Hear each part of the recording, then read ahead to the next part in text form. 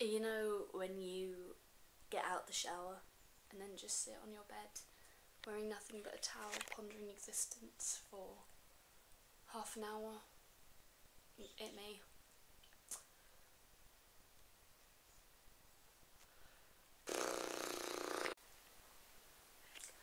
Ah, that's better.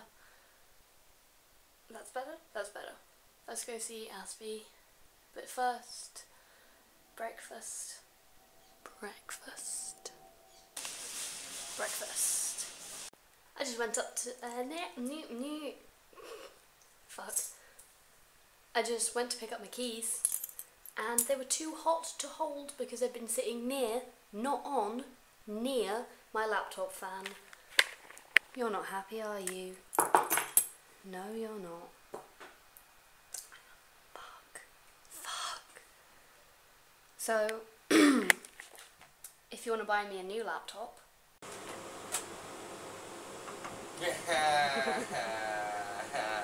nice. Before you judge, I did a 10 hour shift yesterday and then didn't get to bed till 1 a.m. Ask me, who did you kill? Who didn't I kill? I'm gonna wear some headphones. Ooh, get you.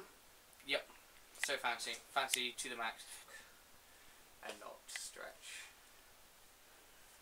If you really wanted to. Boop. Aspey, what are recording? We're gonna record a podcast. Where can people listen to this podcast if they want to? Because this is just a pilot episode. This episode is going to be on YouTube as well. Where, what What's your YouTube channel, Jake? YouTube.com forward slash nobody gives a shit.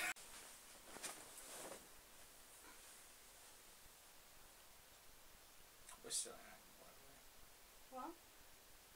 Fuck. it, by Jeez. It's alright. Way better. I mean, if you want to film like that, you can. This angle is as straight as I am. Because the video won't be like that, I don't think. It will be like that when you put it on. Because that's the bottom there straight, so that's Yeah, going to so be at the bottom of your be like thing, so your video will be like this. I hope you feel seasick. I hate all my viewers. Except for you, Libby, you're an angel. Jake, why do you hate the term millennial? Oh, because it's the worst. It's used in a way of kind of like, oh, the millennials are ruining the world, They're and they cross again. their arms like that again. Yeah, With their they're ruining the economy, and And they're they're Bernie Sanders. yeah, they are Bernie Sanders, and they want things to happen because it will benefit them later and not us now. God damn it. And it's like, well, fucking no shit. You're No the, not the ones. Shit. You're not the ones who are going to have to be living in this stuff later, are you? What do you think is harder for people sort of starting their adult lives now than people starting their adult lives 20 years ago? What do you what actually Brexit. apart Um, from Brexit? Because I mean we've got the internet, so that's a big pro. But then like we've also got a world financial crisis, so that's a con. They kind of they balance each other out, I think. I think the access of information. is, It's- good. Sorry, information is wrong. We have better access to information. The access to education Yes. is a big con on our side. And I think the devaluation of education as well. Yeah, I back think in the because day, it's- if you got a degree, you could get a job doing anything you want. Yeah.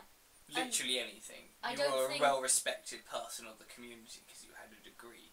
But I think also, but people just got degrees if they needed them, whereas now it's kind of every single job need, requires a Yeah. degree for applications, even if they're going to train you on the job to do something completely different. Yeah, vo- vocation doesn't really exist exist anymore. No, I think there's a lot more expectation that you're going to jump between jobs and stuff, and so it takes a lot longer to kind of get started in a career because you spend the early part of your working life doing just stuff. Yeah, but then also we haven't helped ourselves with that by being the generation of creatives.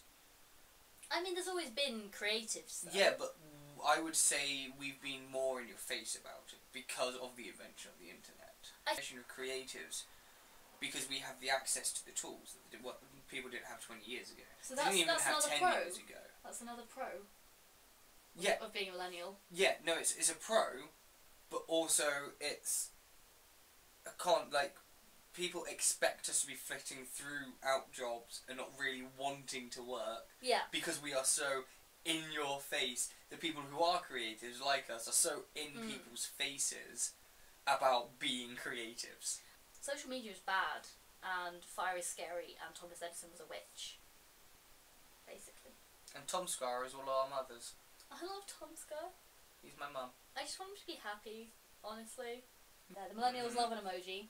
yeah, one person on their overpriced phone and the other one with the, the emoji in front of their face. And, I've um, heard people refer to like 35 year olds as millennials and also 12 year olds. Like, it doesn't mean it's anything. it was, it's a thing made up so business people and people of political power can feel good about themselves because they're not of a generation. Mm, So there was the baby boomers, yeah. the MTV, and now the millennials. Who became a teen around the turn of the millennia. Except that I've been called a millennial and I was three. So. Yeah, I was six when Yeah, the millennium like- happened. What does that mean? In fact, let's ask Google actually what the what a, the definition of millennial is. Okay, Google. Okay, Google. What is the definition for millennial? Millennial, denoting or relating to a period of a thousand years. Or Uh, a person. a person reaching young adulthood around the 2000s. So that's Neither not of us, us. no. It's not actually us. I think a lot of the stereotypes about millennials just relate to brokenness, though. Like, why are they online all the time? Because we're too broke to go out. Why do they rent? Because we're broke. Why do they spend ages in education? Because we're broke. Why do they work crappy jobs instead of seeking better ones? Because we're broke. Why are they obsessed with food? Because we're broke and it's like an affordable treat yourself. Why DIY culture? Brokenness. Yeah. Yeah. Hashtag Dark millennial. No, forbidden.